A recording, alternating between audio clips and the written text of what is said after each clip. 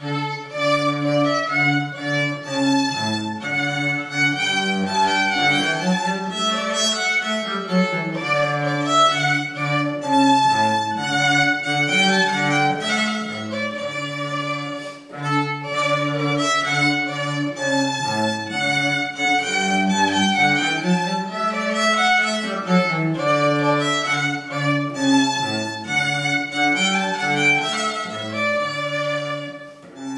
Probabilmente eh, l'impegno più interessante è stato proprio quello vostro, quello di aver provato suonandoli eh, questi strumenti che oggi vengono dimostrati. Che sensazione avete avuto a primo impatto con questi strumenti? Ho avuto un'ottima impressione dell'Arcadia Stentor che ho suonato, è uno strumento che eh, sì, è destinato al, um, allo studio, però ha un'ottima potenza, un'ottima sonorità, naturalmente la qualità è da farsi perché sono strumenti che sono appena usciti dalla fabbrica o poco, quindi mh, hanno comunque subito il viaggio e, e, e deve, aveva bisogno di assestarsi. Poi abbiamo, con un paio di prove abbiamo, eh, diciamo, abbiamo trovato quel suono giusto e comunque possono fare veramente bene questi strumenti.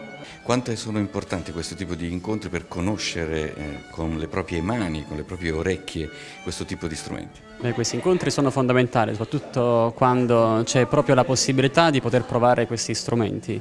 Come ha detto anche il mio collega, sono strumenti comunque nuovi, quindi comunque vanno suonati. Nel momento in cui una persona si approccia a questa tipologia di strumenti che sono low cost però hanno un'alta qualità, è necessario comunque provare tali strumenti, tale tipologia. Quindi tali incontri in cui oltre a visionarli si possono anche provare, di certo risulta molto più vantaggioso e buono per un pubblico che si avvicina alla musica in questo modo. Sicuramente questi strumenti, avendo un bassissimo prezzo rispetto alla loro qualità, sono molto vantaggiosi, soprattutto per la fascia che va dall'inizio dagli 8 anni fino ai 16-18 anni. Eh, Napoli è da sempre considerata una patria per, per la musica. Eh, tu che sei un giovane musicista, quale bilancio puoi fare attualmente della situazione musicale nella tua, nella tua città? Allora, noi siamo veramente dispiaciuti del trend generale, non è un problema napoletano, non è un problema campano, è un problema dovuto a questa grave crisi economica che si sta stagliando nei nostri tempi. Eh, Napoli logicamente eh, rappresenta quello che eh, avviene eh, in, in, tutto il mondo praticamente e in Italia in particolare.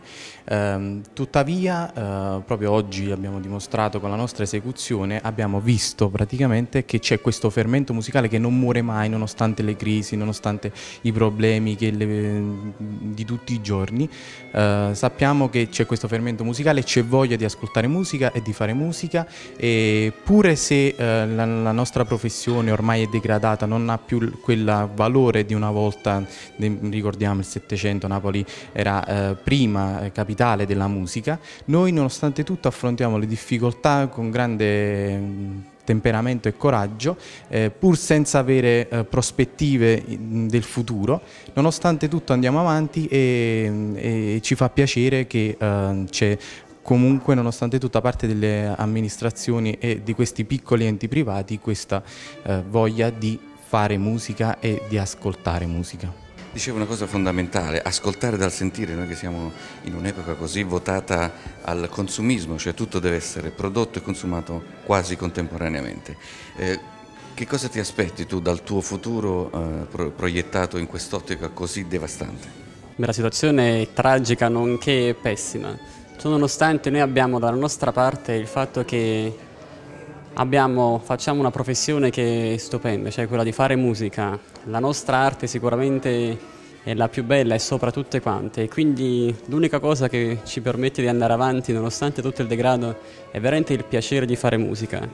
Le prospettive sono quasi zero sia a Napoli che a Milano in tutta Italia ma anche in tutta Europa se mi permette. Ciò nonostante la bellezza di fare musica e di vedere che un pubblico, purtroppo non vasto, però un pubblico gode di questa musica che noi produciamo, rende l'unica fiamma che ci permette di andare avanti.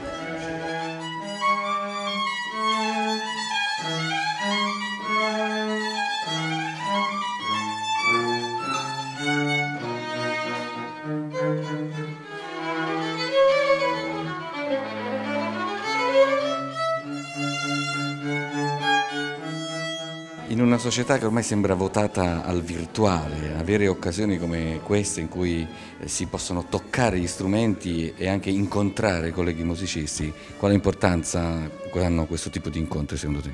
Ma, eh, Napoli è una città che riserva sempre tante sorprese. Io che sono del centro storico non conoscevo questo posto, quindi mi sono trovato per caso e confermo quello che tu dicevi, che praticamente a Napoli è ancora possibile fare arte, fare cultura e lo dimostra questa iniziativa dove tu vieni in questo bellissimo palazzo, Palazzo Venezia, e dove trovi degli strumenti acustici, violini, violoncelli, eh, contrabbassi, puoi anche suonarli e quindi stai nella tua città dove si fa cultura e quindi Napoli non è solo degrado, ma ci sono anche questi angoli di grande spessore di grande brillantezza. Una città come questa che ormai è quasi sempre sul, sul, nell'occhio del ciclone, eh, spazzatura, criminalità e roba del genere, ma c'è ancora un filo di speranza per poter eh, rimediare, cambiare, poter pensare alla musica, ai contenuti, ai valori? C'è questa speranza o dobbiamo rassegnarci, come diceva De Filippo, al fuito venne?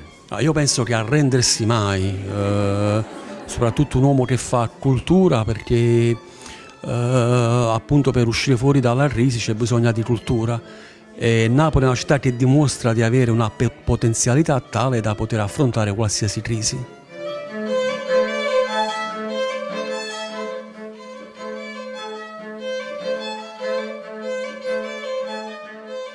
Ci avviamo alla conclusione di questa giornata, di questo seminario dedicato agli strumenti a corde. Che tipo di bilancio puoi fare rispetto a questo investimento di promozione musicale? Beh, possiamo dire che abbiamo avuto un buon riscontro e mm, quindi queste iniziative possiamo, posso dire insomma, che hanno un grosso vantaggio.